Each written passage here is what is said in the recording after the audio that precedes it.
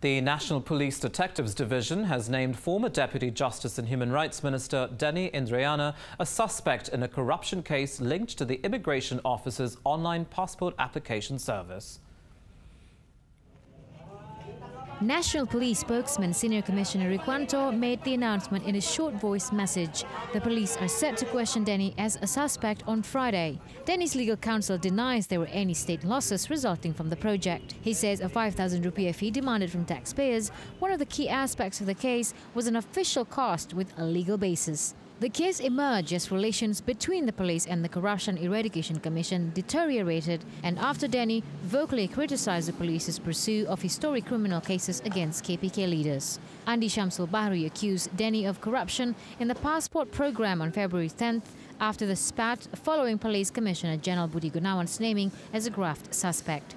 The following day, the detective's office began questioning 21 people about the case, including former Justice and Human Rights Minister Amir Syamsuddin. Police say they have suspected wrongdoing in the case since December, after the state audit agency completed its audit of the project. Detectives say the state lost 32 billion rupiah and there was also an illegal levy imposed that netted 605 million rupiah. Denny says the case is an attempt to punish him for defending the KPK.